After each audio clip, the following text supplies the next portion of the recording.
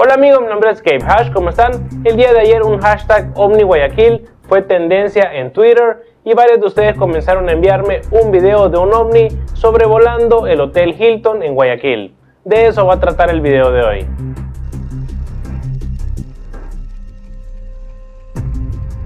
Antes de comenzar con este video, varios de ustedes me preguntan que por qué en cada video siempre decimos nuestras redes sociales y invitamos a las personas a que se suscriban a mi canal de YouTube. La respuesta es porque cada video que nosotros publicamos siempre existen nuevas personas que visitan mi canal que no saben cuáles son mis redes sociales, las cuales están apareciendo aquí abajo y tampoco se han suscrito a mi canal. Es por eso que los invito para que todos ustedes me envíen diferentes casos que están circulando alrededor del mundo y se suscriban uniéndose a que luchemos contra la desinformación que existe en internet y medios de comunicación.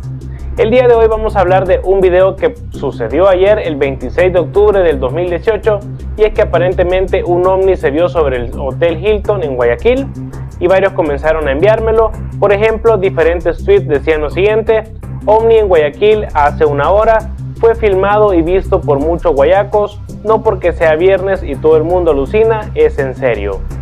Otro tweet también decía, alguien puede decir si saben algo de esto, supuestamente sucedió hoy. Otros tweets también decían, miren estas imágenes, un ovni en los cielos de Guayaquil y diferentes medios han publicado esta noticia como el supuesto ovni de Guayaquil.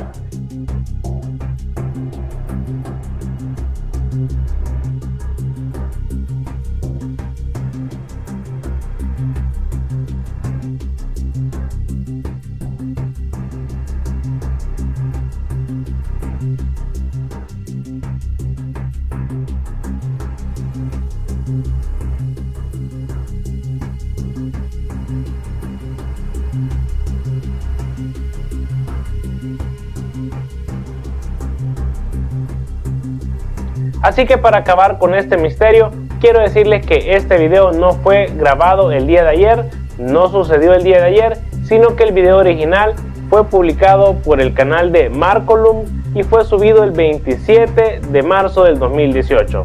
Esta persona, eh, este usuario, es una persona que se dedica a hacer videos publicitarios para redes sociales, gráfica estadísticas de redes sociales, entre otras cosas es una animación. En su canal dice que es una animación generada por computadora y lo más curioso de todo es que él incluso publicó un tweet diciendo lo siguiente, por si acaso el video Omni Guayaquil no es ninguna campaña, lo hice hace seis meses, pero recién se viraliza.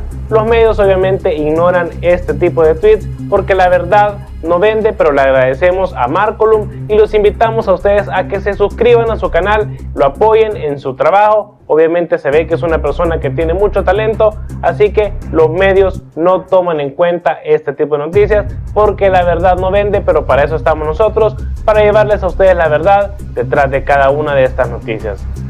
Así que Misterio terminado era solo una animación generada por computadora que fue publicada el 27 de marzo del 2018, ni siquiera fue publicado ayer, como muchos están diciendo, ha pasado lo que siempre pasa, alguien ve un video muy bueno, lo agarra, lo toma y lo publica como algo real y le cambia la información para que todas las personas crean que se trata de algo real. Así que hasta aquí con el video del OVNI Guayaquil, gracias a todos por su tiempo, tenemos video nuevo para el día de mañana o pasado, no se lo pierdan, tampoco se les olvide seguirme en mis redes sociales y suscribirse a mi canal de YouTube.